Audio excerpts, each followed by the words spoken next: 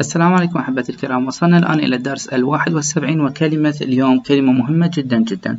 هي كلمة بي أو فعل بي سوف نتعلم استخدامات هذا الفعل وأيضا في أمثلة ومرادفات هذا الفعل فقط في دقيقتين.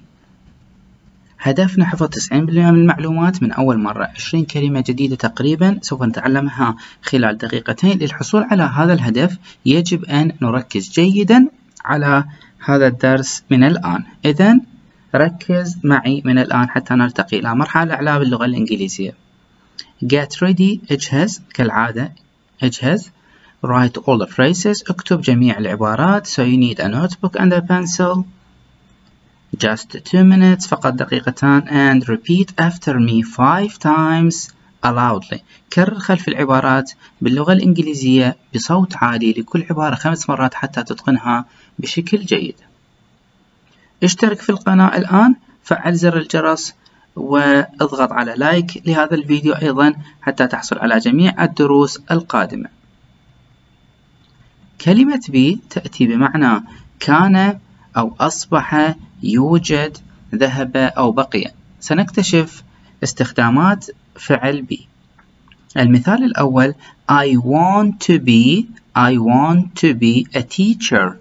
I want to be a teacher أريد أن أصبح معلما أو معلمة I want to be a teacher المثال الثاني Don't worry don't worry لا تقلق I will be there I will be there tomorrow Don't worry لا تقلق I will be there tomorrow كررها خمس مرات بصوت مرتفع واكتبها أيضا حتى تحفظها بشكل جيد. Don't worry I will be there tomorrow.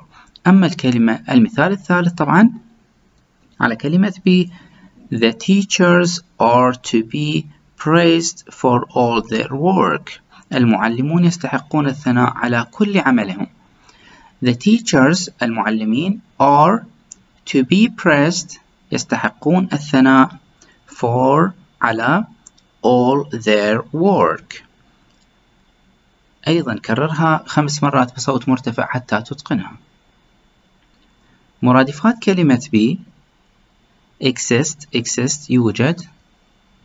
Become أصبح. وهذه كلمتنا بالدرس القادم الدرس 72 أيضا. انتظرونا في هذه الكلمة وشرحها وأمثلتها.